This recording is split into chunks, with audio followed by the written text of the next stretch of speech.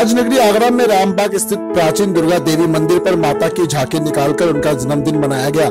झांकी में सभी धर्म के लोगों ने शामिल होकर एकता की मिसाल को कायम किया।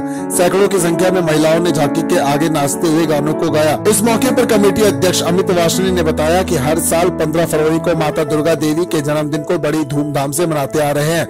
अमित वाशनी ने बताया की झांकी निकालने के बाद शाम को सभी भक्तों के लिए भंडारे का आयोजन भी रखा गया है, जो रात्रि तक चलेगा। जब से जन उत्सव के रूप में इस कार्यक्रम को बनाते हैं। और जनता के बीच में संदेश ये है कि जागृति पैदा हो और हमारे यहाँ पर जो भगवान के प्रति आस्था है लोगों की, वो इस मतलब नहर आ रहा है सब लोगों को कितनी आस्था है। ये कार्यक्रम हमारा दिन प्रतिदिन बढ़ता जा रहा है और आस्था लोगों की जुड़ती जा रही है इस कार्यक्रम से।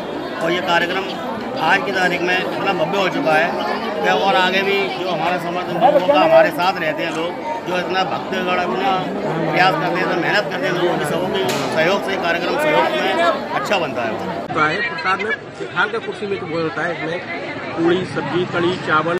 आप देख रहे हैं सक्षम न्यूज़ इंडिया बदले सोच समय के साथ।